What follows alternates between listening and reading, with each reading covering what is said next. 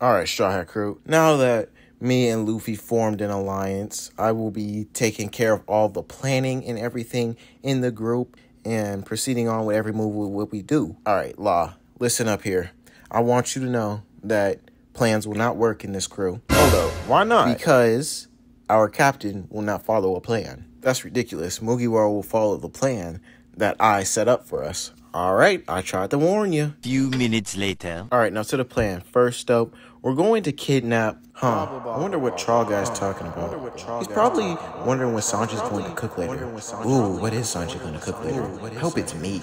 Ooh, why Chopper looking real good right now? Luffy, why are you looking at me like that? Meat. Mugiwara, are you paying attention here? Uh, yeah, yeah, yeah. Kidnapping and all that stuff. Okay. Later. All right, Mugiwara. So we're going to attack Doflamingo strategically. I'm gonna kick your ass, Mingo. I regret making an alliance with this dumbass.